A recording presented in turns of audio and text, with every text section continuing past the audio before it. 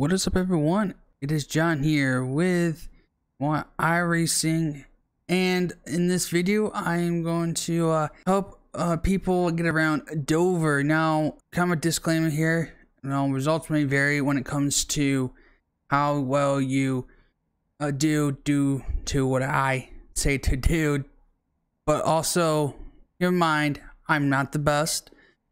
There's probably a lot more better people out there, but I will give you the general concept of how to get around Dover. So let's hop in into the Chevy Camaro in the Cup Series. I think a lot of people tend to want to do the uh, Cup Series just a little bit more.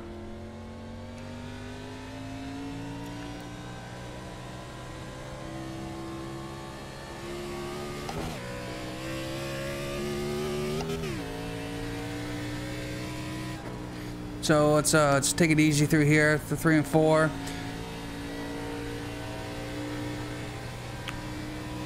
Onto the gas here. So here, when you go into turn number one, the truck, the car's just gonna really bomb out in the corner. Want to be about half throttle to three quarters, and then about full coming off.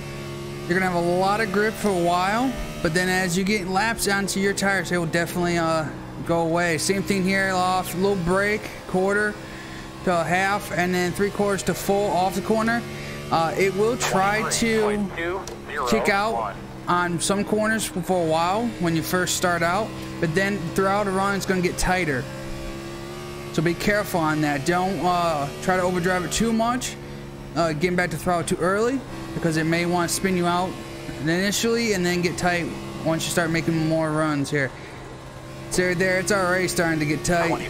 Just after a few laps, but just kind of want to take it easy. Fill the car out.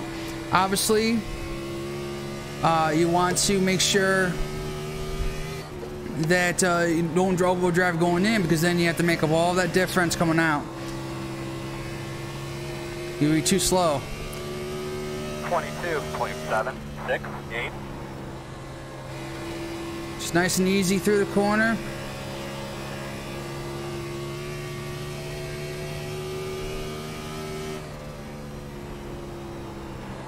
You don't necessarily have to hit the brakes, but sometimes uh, just to feel comfortable, tapping your brake wouldn't be a bad thing. Don't push it too hard. Just nice tap. You see my uh, right side there, not even a quarter uh, pressure on the uh, brake. Just help stabilize it. Fill out the car. It's going to start getting loose and more and more. Eventually, it will swing to the tight side.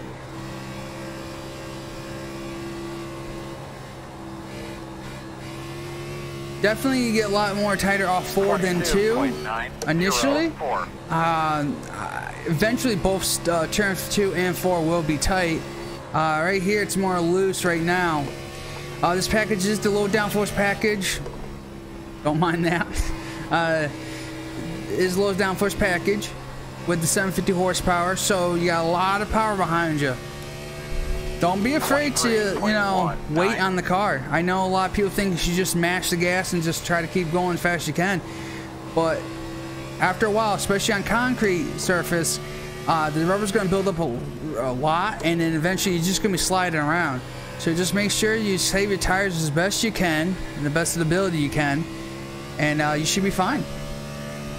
23.15.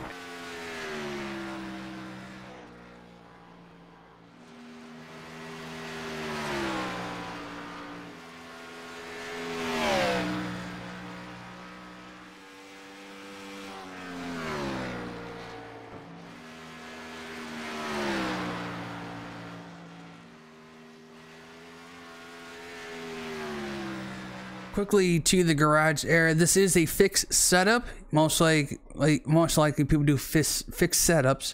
Uh, I set my steering ratio to 14 to 1. Uh, go ahead and play with this. Everybody has their different comfort zone on uh, how much steering they want. Uh, the lower the number, the quicker it goes. Uh, the, higher the number, uh, the slower the steering ratio goes. So I set mine at 14 to 1. Uh, some people can tolerate 10, um, uh, even 12 or somewhere around there. I wouldn't try 8. I think I'd be too quick. Um, but around here, is good. Uh, it's defaultly, I think, set to 12 to 1. Some people prefer a little bit slower here. Um, want to add more wheel input. Uh, but some people can handle 10 at least. So play around with it. It will uh, help you in the long run by helping your steering ratio out there. I set my brake bias to 62. You could probably mess with that. Um, you don't use too much brake early, but after you get into a long run, you may have to use the brake a little bit more to slow it down. Uh, but again, just keep playing with it, keep practicing, testing, and see what the best settings are for you. Uh, but that is all you can really mess with on a fixed setup. You can't mess with anything else here. I uh, won't allow you. So uh, definitely just make sure uh, when you mess with this, uh, you do go out and practice. Don't just mm, jump into a race and go, oh, I'll set it to like 10 to 1 because you all of a sudden uh, you you'll definitely see the difference and you're not prepared for it. So definitely test, practice, and uh, you should be good to go. Uh, guys, that will do it for this one. And if you did like this video, make sure you hit that like button. And if you want me to do more of this, comment below and consider subscribing to this channel. Thanks for watching, and I'll see you in the next one.